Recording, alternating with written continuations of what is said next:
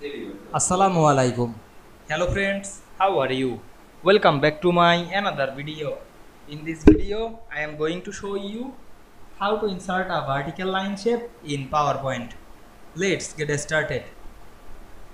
At first, you have to open a PowerPoint presentation. Now you want to insert a vertical line shape. At first, go to the home menu.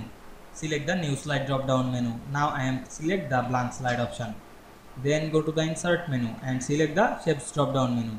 We can see here many shapes. Now i am select the line shape. Then draw the line vertically press shift on your keyboard. Now we can see we make a vertical line shape very easily.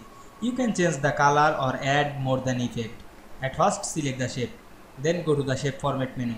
Select the shape outline. You can choose any color. Now i am select the color. Otherwise you can change the whiteness select the shape outline again and select the white option. Then increase the white. Now we can see we insert a vertical line shape very easily. I hope you enjoyed the video.